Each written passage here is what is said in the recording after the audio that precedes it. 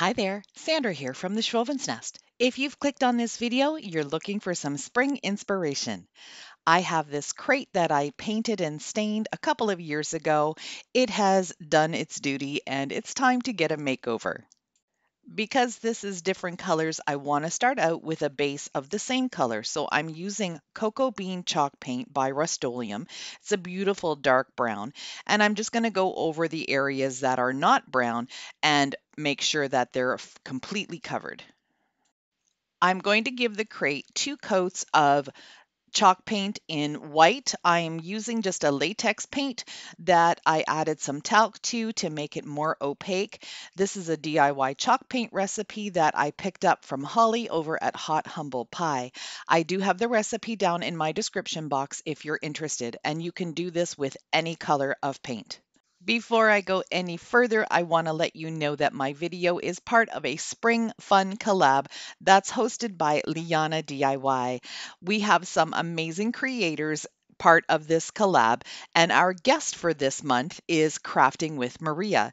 Please make sure you go down to my comments and my description box, click on that playlist link, and go see what everyone else has created for spring. You are sure to be inspired. So as I was painting it white, I remembered that I don't like the really big gaps of this crate. So I'm taking a shim. These are just wood shims that you can pick up at Home Depot. They come 40 in a pack, and I believe these are about 15 inches long. So I'm just going to take my measurement and use my miter shears to trim it. I'm just going to add the shims with some hot glue on either side of the crate. I also wanted the same color for the shims, so I'm going to go ahead and use the same cocoa bean chalk paint and just give them a really rough coat. It doesn't have to be perfect. I'm going to be putting some florals in this crate, so I decided also to put a little bit of reinforcement down at the bottom. Again, the holes are just a little bit too big, and I just wanted to make sure that nothing falls through. The two coats are dry now, and this is where I can do my distressing. I'm using some really rough grit sandpaper because I don't want to have to sand till my arm falls off. This is just an easy way to pull off quite a bit of paint very easily. And I want that brown to show through. So that's why I'm doing it fairly rough. It's making it look pretty chippy and that's the look I'm going for. So the only thing that was a little bit difficult was getting in between these grooves. I had to kind of wedge the sandpaper in between the grooves and then just run it across. I created a decal on my Cricut, but I'm doing something a little bit different. I'm not going to put the decal on because I wanted this to be a really rustic looking crate and the vinyl would look nice and crisp and new. So what I'm doing is weeding out all of the letters and I'm going to use this as a stencil. The one thing you have to make sure of when you're weeding out the letters is to make sure that any E's or A's or O's have those little interior pieces here I lost the A, the little part that needs to show the A, but I did find it in my little pile of scraps there. So then I just put it back on. So that's just the one thing that I can caution you of. If you're using your Cricut and you want to create a stencil, you need to be very aware that all of your inside of the letters needs to stay there. I put a piece of clear transfer tape right on top of the decal and then pulled the backing off. Now I'm going to go ahead and place it where I want it to be. And then very gently, I'm going to pull off the transfer tape, making sure that the stencil stays stuck down. And again, I don't lose any of those little pieces in between. This little pink tool is a dollar store find, so be on the lookout for those. You don't need to have the expensive Cricut tools to work with decals. I'm going to use a makeup sponge and some chalk paint, and this is the best way that I know how to do stencils. I love using these makeup sponges, and I just found a tip from my sweet friend Jamie over at Simple Roots Simple Living. She said put a clothespin on the top of the makeup sponge and then you have more of a handle. So I didn't try it for this because I needed a little bit more control, but the next time I do a larger stencil, I'm definitely going to try that tip. Peeling off the stencil, I went really slow and I did miss some pieces, but that's why you've got your little picker tool. You can go ahead and just very gently help it along and get all of that vinyl off. I had planned on distressing this piece on the front, but I wasn't planning on that big chunk. But you know what? I decided to work with it. So I'm just going to go ahead and try and scrape off a little bit more. I tried maybe with the little picker tool to pull off some paint and it did work for a little bit, but then I resorted to sandpaper. So where I painted the brown on the shim and on the bottom piece, you could see that brown color coming through, but where I sanded it on the top where there was just the brown stain, it wasn't deep enough. So I just took a little brush and some of that brown paint and just went over it so it would look the same as the distressing at the bottom. I also sanded over the letters a little bit just to give them more of a faded look that just ended up getting a few little scratches through them and it made it look more in tune with the rest of the crate. I wanted to have a little bit of burlap hanging over the sides of the crate. I thought that would make it look sweet.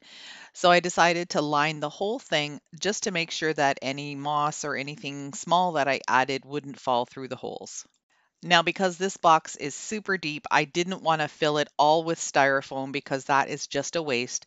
So I took this little piece of box, laid it in there upside down, glued it, added a couple pieces of styrofoam on the side to hold it in place, and then put my styrofoam on the top with hot glue since this is a spring DIY, and of course we're all looking forward to spring, I decided to use these pretty little purple crocuses that I picked up last year at a dollar store. I can't remember which one.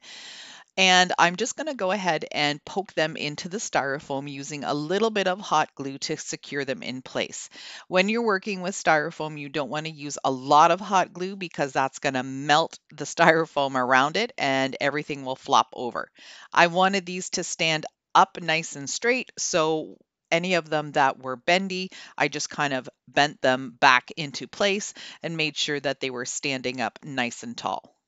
Then I added some bushes of dusty basil, which is sort of like a boxwood that has that lamb's ear look, and I filled the bottom with moss.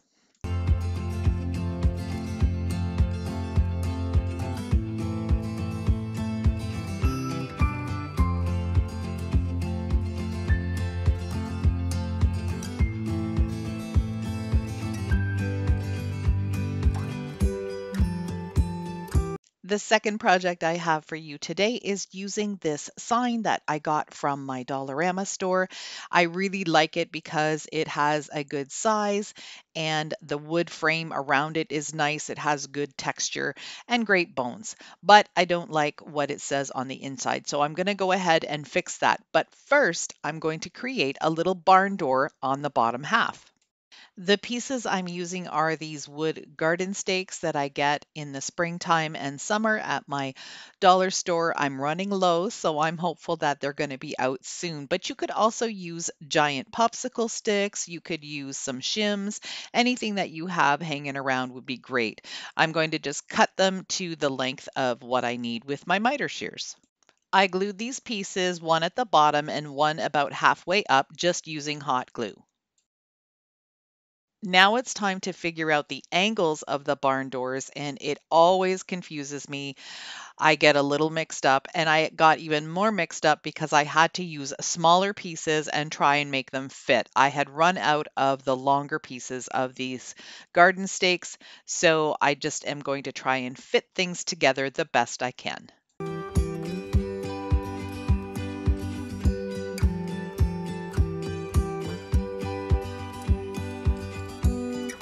So because I had to use bits and pieces, I've got somewhat of a hole in the center of this, but I'm just going to take some wood filler, fill all of that in, and then just let it dry for a few hours and then sand it down so it's nice and smooth.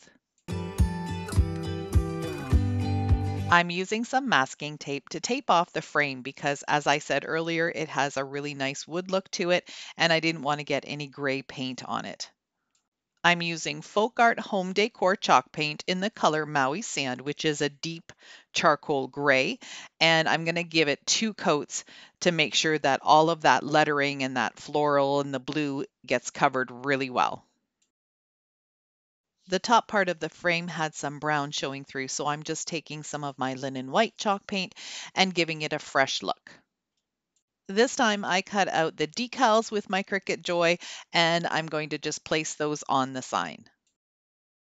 Once I had the decal on, I didn't like the dry brush look of the X for the barn door, so I decided to go ahead and paint it solid white. I gave it a couple of coats and then cleaned up the edges where I messed up.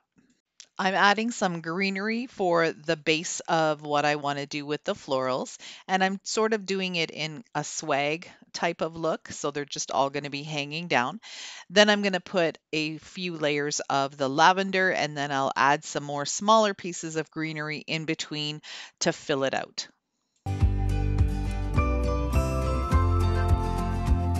For the final touch, I added a little bit of gray and dry brush just around the edges of the barn door pieces.